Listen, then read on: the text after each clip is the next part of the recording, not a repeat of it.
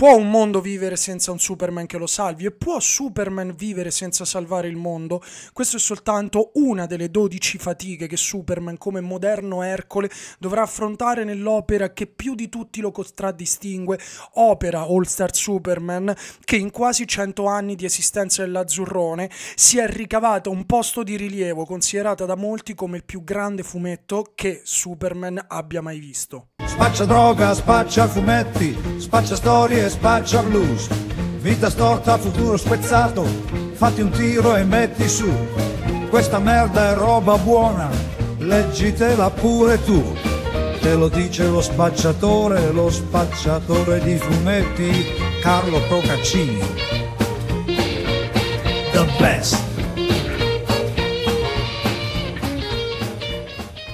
Questo video sarà senza spoiler perché parleremo questa sera in live, trovate il link in descrizione, alle 21.30 insieme a degli ospiti eccezionali proprio per analizzare ogni singola parte di questa magnifica opera. Ma adesso noi andremo un po' a parlare, vi dirò la mia, qual è la mia visione, così stasera lascerò la parola più agli ospiti. Questo fumetto è iconico, perché è iconico? Perché ogni singola parte di questa opera, sia dal punto di vista grafico che dal punto di vista narrativo, narrativo va a tirar fuori tutti quelli che sono le componenti più immediate di Super, quelle che l'hanno reso grande e quelle che possono definirsi assolutamente classiche. Già dal punto di vista grafico Grant Morrison chiede a Frank Whiteley di darci una visione assolutamente classica, con questi mutandoni molto larghi, la cintura d'oro, senza orpelli, senza tutte quelle finezze artistiche inutili che sono state aggiunte nel corso degli anni e che vediamo trasposte anche in diverse pellicole cinematografiche, l'essenza stessa di Super Superman, quel mantellino corto quasi alla Elvis Presley, alla Capitan Marvel, proprio figlio della Golden Age. E in ogni singola parte di questa storia, in ogni capitolo, noi andiamo a vedere degli aspetti che fanno parte del classicismo di Superman. Ad esempio, nella seconda storia, fatta dalla prospettiva di Lois Lane, e anche nella terza, sempre insieme a Lois, dove noi vediamo un semplice appuntamento tra i due. Sembra uscito veramente da una di quelle testate dedicate a Lois Lane, piene di situazioni romantiche ai limiti dell'impossibile, oppure il terzo e il quarto capitolo, che è una classica storia non di Superman, ma quanto proprio del Jimmy Olsen, Pulse of Superman, cioè quella testata che Kirby rivitalizzò quando andò alla DC Comics, dove il focus narrativo è proprio intorno a Jimmy Olsen. E questa semplicità della narrazione, ma come abbiamo visto anche in altri capitoli, è forse il punto forte di questa storia, semplicità della narrazione che si accompagna ovviamente a una grandissima profondità a livello narrativo. Questo miscuglio tra Silver Age riletta con un gusto moderno proprio e estremamente profondo, storie iconiche come quella del mondo bizzarro, questo mondo che il giorno di Natale, quindi nell'ora più buia della Terra, quando il Sole è al suo picco più basso e più lontano dal nostro pianeta, invade la nostra realtà e il mondo quindi si capovolge. Noi sappiamo che Grant Morrison ha un'affezione particolare verso il Natale, ha scritto diverse storie dedicate a questo periodo dell'anno e non è un caso a livello simbolico che lui scelga proprio il Natale per creare questo mondo distorto e buio dove però vede la luce attraverso un suo essere questo è un altro punto focale della poetica di Grant Morrison, il fatto che noi siamo un prodotto del nostro mondo, prodotto del nostro mondo che ci genera proprio per poterlo contemplare, per poter aiutare l'esistenza stessa a progredire. E Zibarro è proprio questo, Zibarro è la visione dell'oltre, è quell'uomo buono che può nascere in un contesto totalmente disastrato e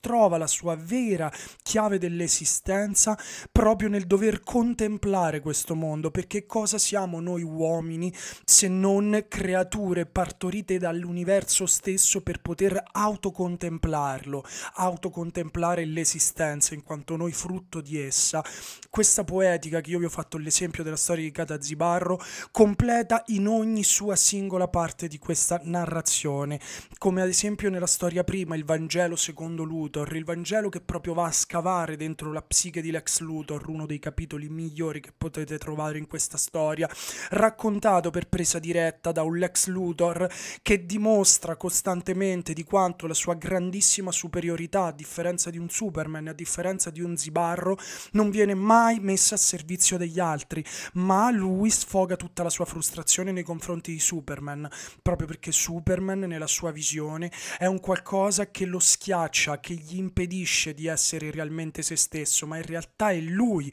con il suo ego ipertrofico che non può avere il riconoscimento che secondo lui gli spetta in quanto uomo superiore agli altri, allora si vendica con quello che secondo lui gli sta scalzando questa serie in live. Vedremo tutte queste cose ragazzi nel dettaglio assolutamente. La grandezza di quest'opera come vi ho detto è nell'iconocità, l'iconicità di Superman è qualcosa che travalica lo spazio e il tempo, anche la scelta dei colori non è casuale, rosso e blu, un accostamento di colori che abbiamo visto spessissimo in Gesù Cristo, proprio perché il blu, il segno del celeste, dell'aspirazione verso l'alto, mentre il simbolo del rosso è simbolo d'umanità, del sanguigno, ma è anche simbolo di regalità, quindi questa regalità, uomo che diventa re degli uomini senza però imporre la sua volontà e che aspira verso l'alto. E questo concetto importantissimo che Morrison aveva già utilizzato nella sua Justice League, noi lo vediamo nella storia dove arrivano gli scienziati kryptoniani sulla Terra nel periodo in cui Superman è stato assente per andare nel mondo bizzarro. E questi scienziati kryptoniani che modificano la Terra. La Terra è il loro parco giochi, gli esseri umani sono alla stregua di delle scimmie per noi e quindi loro come noi umani manipoliamo indiscriminatamente il pianeta, loro lo fanno lo stesso nei nostri confronti, ma questo instilla in Superman un dubbio, un, un dubbio che Grant Morrison aveva già utilizzato come vi ho detto nella primo arco narrativo della sua Justice League, quando i marziani bianchi sotto mentite spoglie pongono alla Justice League un dubbio veramente importante e che servirà a spiegare queste storie, cioè voi fate abbastanza per l'uomo, ok? Voi fermate i criminali, sconfiggete robot malefici, ma in realtà voi curate le problematiche di questo pianeta. Ricordo ad esempio i marziani bianchi riportare l'acqua nel deserto del Sahara facendolo rinverdire. Ecco, Superman si è sempre posto e anche nella visione di Morrison in maniera corretta come io sì sono una persona che viene da una cultura molto progredita in confronto a quella degli umani, ma non posso imporre il mio volere e la mia mentalità e la mia morale agli esseri umani, io devo lasciarli progredire. Ma in questo caso Morrison non si limita a dare questa risposta perché va nel profondo. Il fatto che gli scienziati kryptoniani abbiano posto a Superman questo dilemma filosofico, che è solo uno dei dilemmi filosofici che vengono posti a Superman in tutta la narrazione, dilemmi filosofici che sono le 12 fatiche, oltre a farglieli risolvere da un altro punto di vista, stimolano Superman, perché quello che non vi ho detto è che Superman in questo momento si trova nella sua ora più buia, si trova al punto di morte. Lui è stato infettato dall'ex Luthor che, tramite un'intossicazione da sole, quindi diciamo un super tumore che gli è avvenuto, che lo sta facendo uccidere. E lui sa, visto i continui giochi indietro avanti nel tempo, che dovrà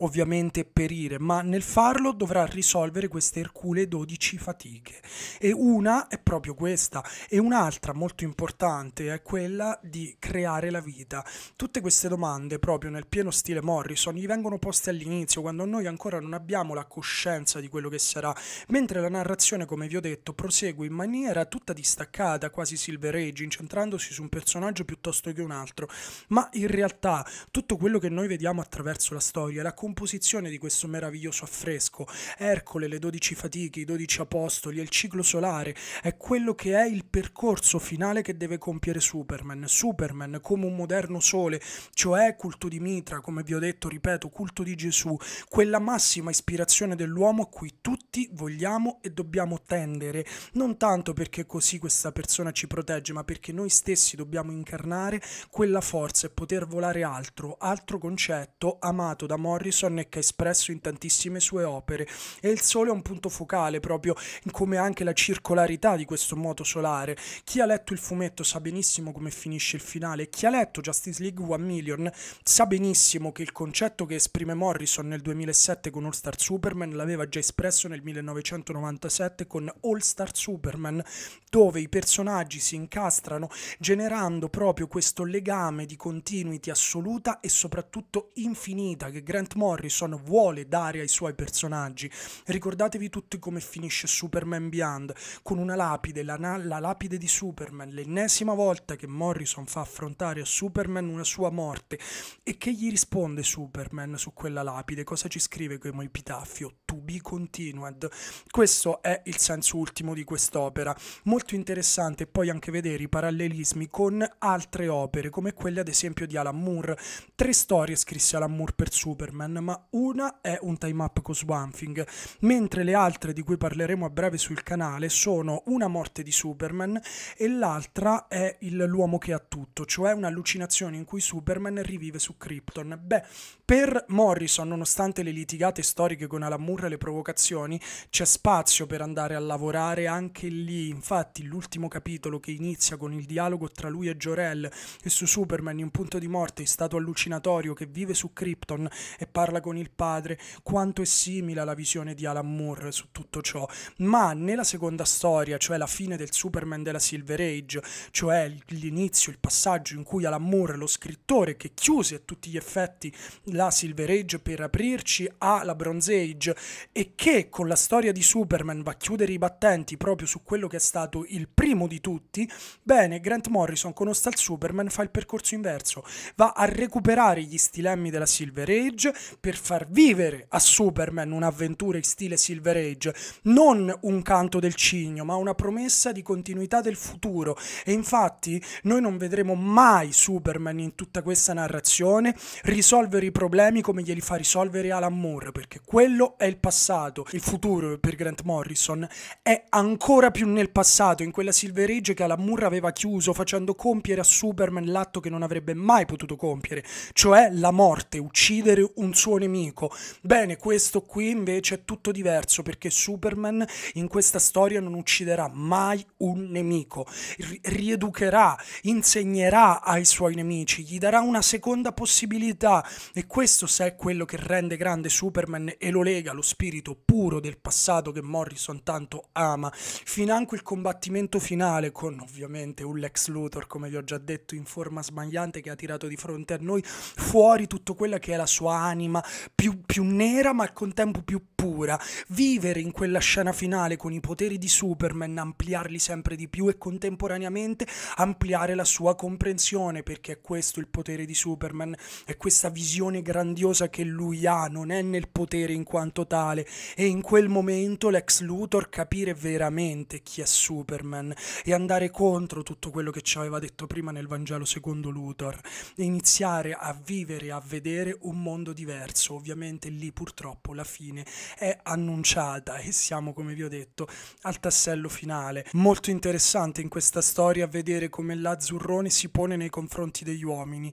È sempre paterno, ma non un paterno di quelli che, che ti tiene bloccata la crescita perché ti tiene sotto controllo. È quel padre che ti aiuta a rialzarti e ti indica la strada, ti rimette sulla bicicletta e ti insegna a pedalare. Eppure anche la sua profonda umanità che Grant Morrison inserisce in ogni momento, anche nella sua ora più buia, Superman si prende cura di noi, va ad abbracciare una ragazzina che si sta per suicidare e quella, come tutti immaginate e sapete, è la scena più iconica di questo fumetto perché è l'emblema di tutto quello che è il simbolo di Superman. Superman, come ci dimostra sempre Grant Morrison in questa storia, che se non esistesse, giusto per rispondere alla domanda che vi ho fatto inizio video, noi uomini lo creeremmo. E è questo quello che è stata la storia dell'uomo per secoli nei secoli, creare i nostri Superman, creare i nostri dei, creare la nostra mitologia narrativa, i nostri eroi, ma non per fingere che questi eroi possano salvarci la vita, in realtà lo facciamo solo perché noi vogliamo sotto sotto diventare diventare come loro. Per questo non fatevi fregare dalla retorica cattolica quando dicono beh Gesù ce n'è uno, è figlio di Dio e tutti noi non siamo nessuno, perché Gesù stesso diceva che tutti noi siamo figli di Dio e tutti noi possiamo avere il potenziale di volare come lui o come Superman. Ciao ragazzi, ci vediamo stasera 21.30 sul canale di Carlo Procaccini, trovate la live linkata in descrizione. Bella!